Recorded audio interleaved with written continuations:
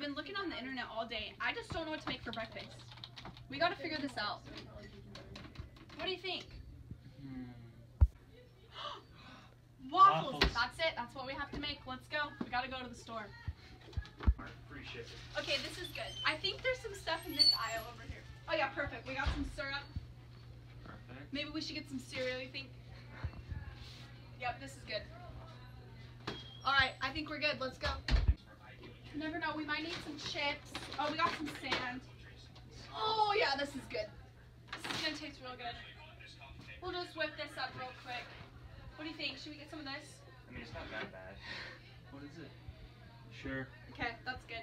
I think we're ready. Man, these waffles are looking good so far.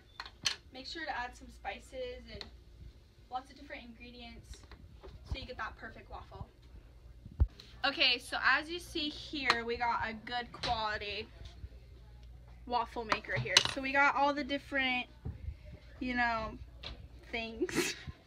we got the we got this different temperature gauge that really helps because it makes the perfect waffle because just so for sure you know what temperature to go with, you know.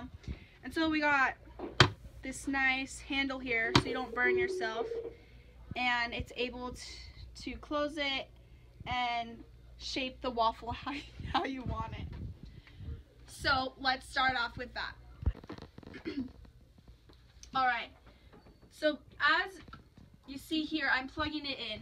Always be careful of your surroundings when plugging in a waffle maker. You never know what can happen, right, Tyler? Mm-hmm. Safety first in the kitchen, always. As you can see here, the light is showing that it's on.